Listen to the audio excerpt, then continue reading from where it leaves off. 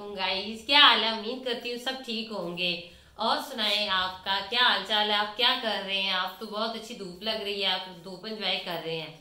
और एक तो मैंने मकान चेंज किया इस वजह से थोड़ी वीडियो नहीं मैं अपलोड कर पाई, और उसके बाद हमारे कैमरा मैन उनके भाई की शादी थी। ठीक है? वो उधर बिज़ी थी और मैं मकान कर चेंज करने में बिज़ी थी। ये देखिए, अभी मेरा वैसे खिलारा पड़ा हुआ है, अभी मेरा हाल भी वैसे ही है। ठीक है? और ये मैं चेंजिंग वगैरह कर रही हूँ, ठीक है? तो आगे मेरा कुछ नया देखने के लिए मुझे सरप्राइज़ करें, ठीक है? और मुझे ज़्यादा सा सपोर्ट करें, मैं आपको सब कुछ दिखाऊँगी जो अच्छा होगा, ठीक है?